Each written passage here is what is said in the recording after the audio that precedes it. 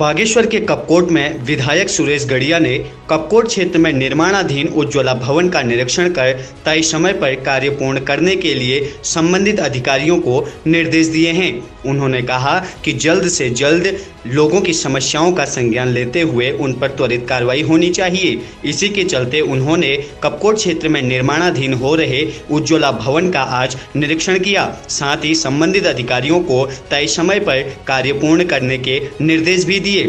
जल्द ही कपकोट क्षेत्र को एक भव्य, उज्ज्वला भवन गेस्ट हाउस मिलने जा रहा है। इस दौरान परियोजना अधिकारी बिड़कुल आकाश भट्ट, अधिशासी अधिकारी नगर पंचायत कपकोट, सहायक अभियंता बिड़कुल रविंद्र नितवाल, मंडल अध्यक्ष गणेश सुरकाली, ज्येष्ठ ब्लॉक प्रमुख हरीश मेहरा आदि मौजूद रहे।